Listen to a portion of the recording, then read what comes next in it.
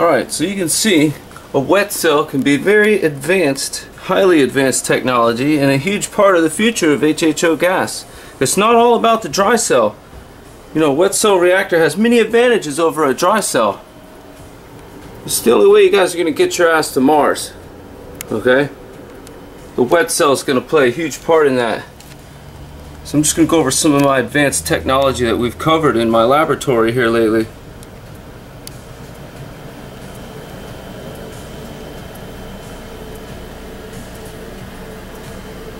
Just some of the stuff that I've been working on. And hopefully some of you other electrical engineers out there are working on.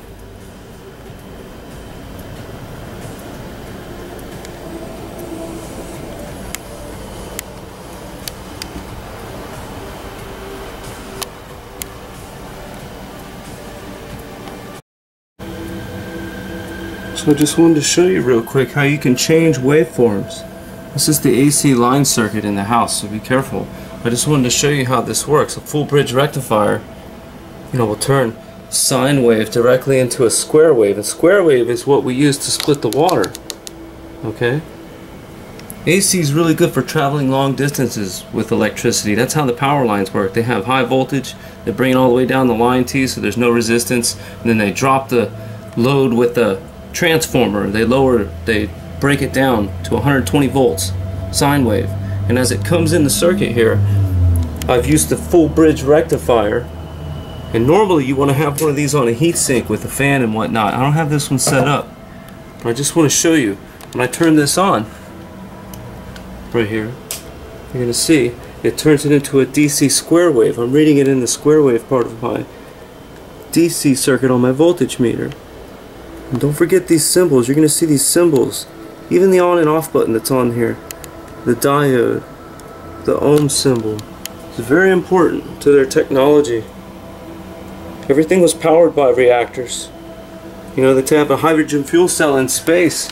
And then all you need is a solar panel and you can power it with a laser from Earth. And start charging up.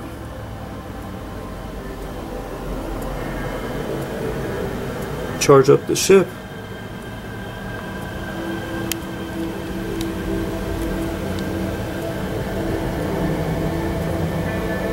That's the power of hydrogen. You have the power of the sun, the power of stars.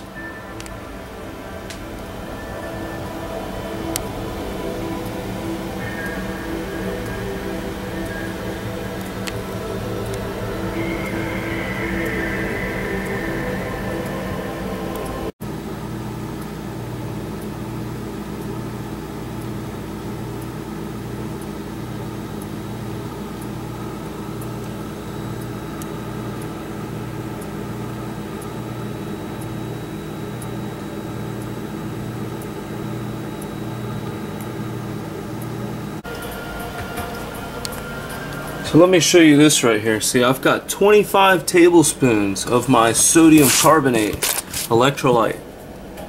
Okay, so I've got that in here in my reactor and I'm going to show you how, what size flame that produces with just one reactor core. So I just have this one reactor, the other one's sitting off to the side there. I usually have two of them hooked together, three, four, depending on what size of flame I want to make. If I want to cook, weld, drive, or fly, it all determines on the electricity you have.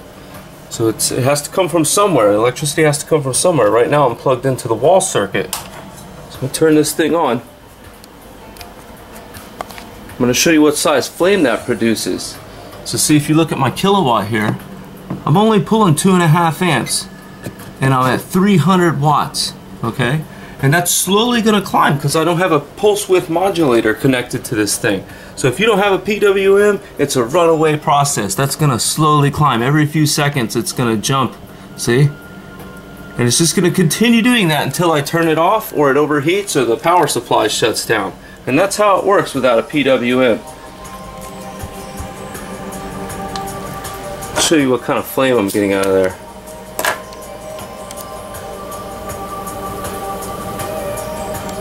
See, and I've adjusted the reactor.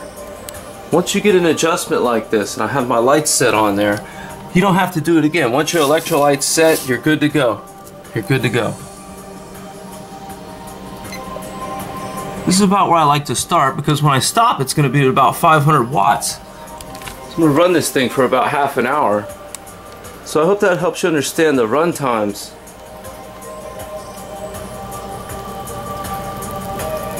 So just to produce a little flame like that, 300 watts on one fuel cell, and normally I'll take these things up to about 6, 7, 800 watts make that flame a lot larger but then it cuts down my runtime so you end up using more fuel cells. That's what an array is for. You need an array. You need quite a few of these hooked together. And you can do just about anything you wanted.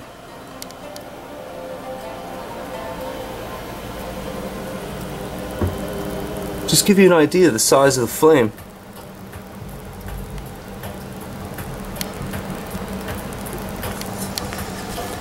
That little flame's a hell of a lot hotter than you think it is. Reaches way up here. Watch, I'll show you.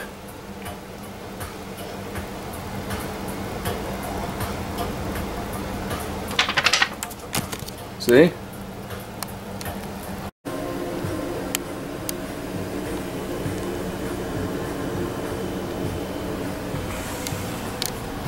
So let's take a look here. If you look at my pulsar reactor, you clearly see that you can take a crystal ball and amplify that light for your solar panels.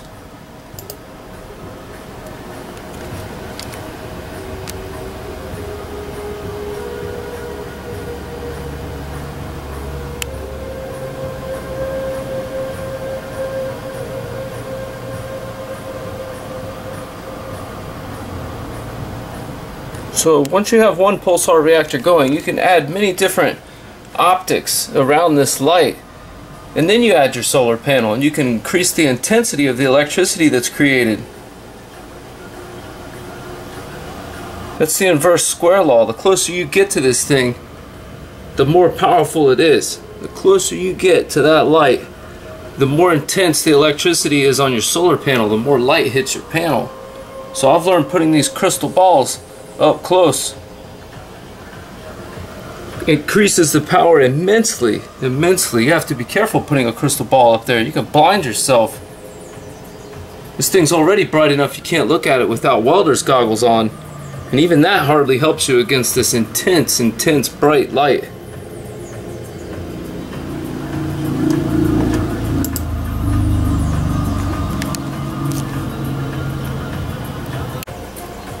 Yeah, normally I just use one switch to activate everything and I have things hooked up to my main laboratory computer here. I use another computer and I have a program called Goldwave. I don't know if you've ever heard of it, but that's where I'm getting all my reactor sounds. I can program just about anything I want into there. I'm going to show you how I use LCARS. This is a free program, LCARS 47.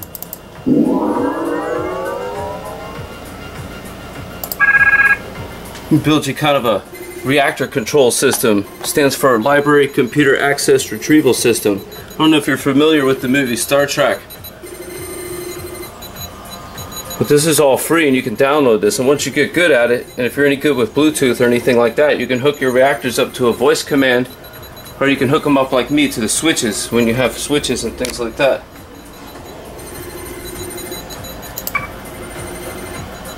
You can build you a warp core control, build a diagnostic systems for your reactor.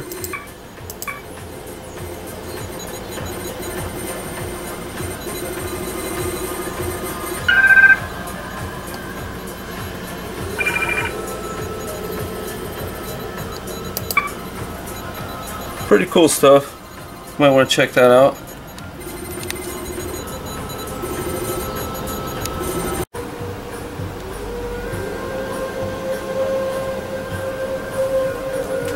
So when you go to start one of these suckers up, the way it works is it's one switch technology. So you don't have anything happening right now, everything's off. It's just water sitting here. But as soon as you hit the electrical current and you start the electrolysis process, everything starts going. It's one switch technology.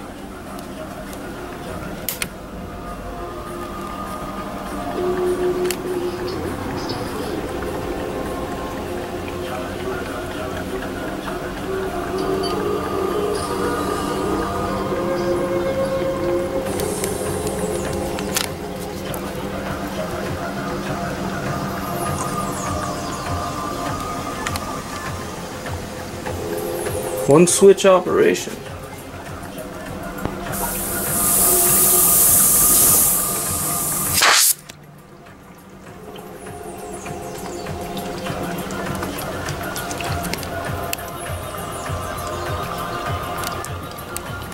Let's take a look inside here. I'm going to show you some pictures.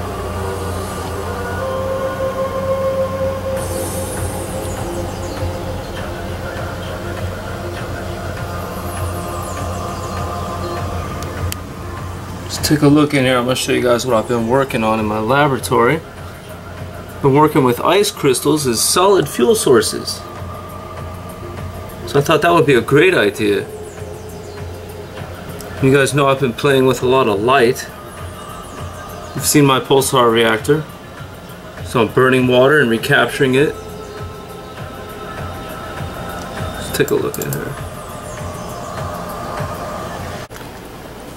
So now that you're able to tap into this tremendous amount of energy in the form of the water molecule, you can easily, easily build a wet cell reactor and tap into that power. And You can build your hydrogen society. You could, underwater, in space, it's going to work out really well. A hydrogen civilization, and you're going to travel amongst the stars, and you're going to start searching for water in other galaxies. That would be the key to the tetrahedron society. You're going to look for water in other solar systems. And you're going to solve Earth's pollution problems simultaneously. That's the key to this technology. That is the key to the technology. So it will be a brave new world. Built these dome cities. Uh, water's, water's the most precious thing out there when we find it. That's where we're going to get our energy. But there's something we must do before we go to Mars, before we travel the galaxy, before we build our rockets and do any of that any of that stuff. There's something highly important that we must do with this advanced technology. Let me show you. It's crucial.